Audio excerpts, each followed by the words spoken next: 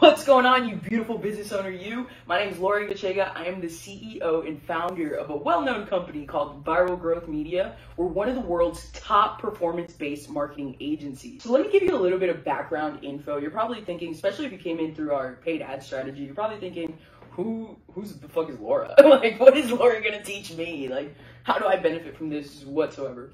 Well, let me tell you, around four to five years ago, I was a nobody. Nobody knew who I was, right?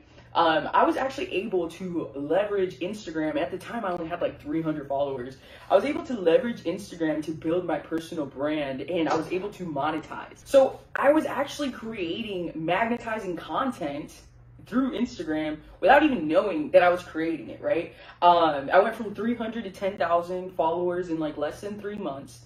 I, I started getting um, influential people in the space that I was um, targeting to follow me to the point where I actually got my first speaking gig with Gary Vaynerchuk. So we were we were like literally the top two headline speakers. And it was like my life literally changed like that. And through all this new attention that I got, I was able to grow my agency to seven figures. But at that time, I actually wasn't following my passion, right? I I happened to be narrowed in on a niche that was making me a lot of money, but I wasn't working in the space that I actually loved. Um, I actually didn't know that I loved this space at the time. It was something that happened through trial and error. My passion is helping uh, influencers or personal brands or just regular people build an audience that gets value from them and monetizing them. I think it's super impactful. I think I think everybody is an expert at something and it's their right to monetize, especially in this day and age. Um, you'll be getting our reading list and uh, prediction machines is going to be a part of that reading list. It's the simple economics of artificial intelligence. The reason why I'm so passionate about helping regular people build a personal brand and monetize their knowledge is because the world is getting to a point where automation is going to take over these menial tasks, right? And EQ is going to be more valuable than IQ. Actually, I, I think we're already there. So I, I think it's important that people understand this new economy and building a personal brand is the simplest to me, the simplest and easiest way to make money online, really. Once I realized that this is where I wanted to go and this is where I wanted to shift my energy to, that's actually when I founded Viral Growth Media.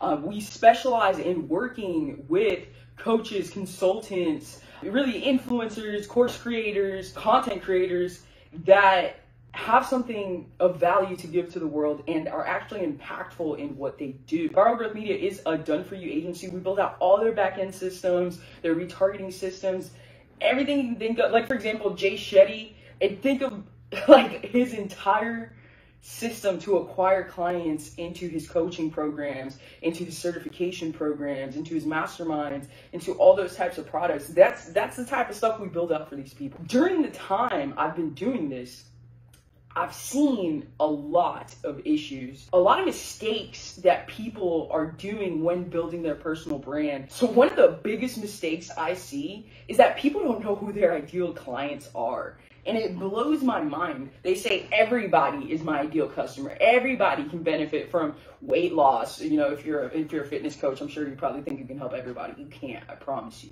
You need to be focused on a niche. So let's say you're a fitness coach and you the person that's going to say i help everybody versus the person that says i help type 2 diabetics lose weight guess who's going to make more money? The guy who's focusing on the type 2 diabetics because he's creating content that attracts those people to them versus the person that says i help everybody that is attracting nobody to them.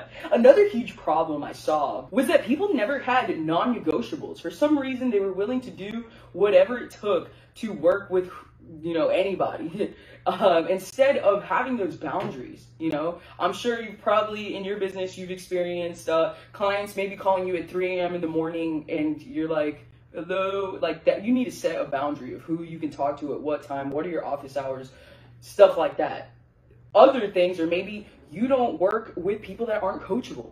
You don't work with people that don't have standards of living. You know, I mean, it's up to you to decide what are your non-negotiables, but that's along the lines of what I'm talking about. A lot of people don't have those, and it's one of the biggest mistakes that they do because it's sucking the soul out of their out of their business and themselves, really. I think another big mistake, or maybe even this falls into the limiting belief category, um, when when people think that because they're not a celebrity or an authority that they can't bring value to their ideal clients. That's the biggest BS ever, right? So what we do is help you create a system and a process that helps you build up your audience, right? Your ideal clients and it turns you into the authority in their mind, right? Because you'll be following them around the entire internet like and them seeing you every single time so they think you are the fucking shit.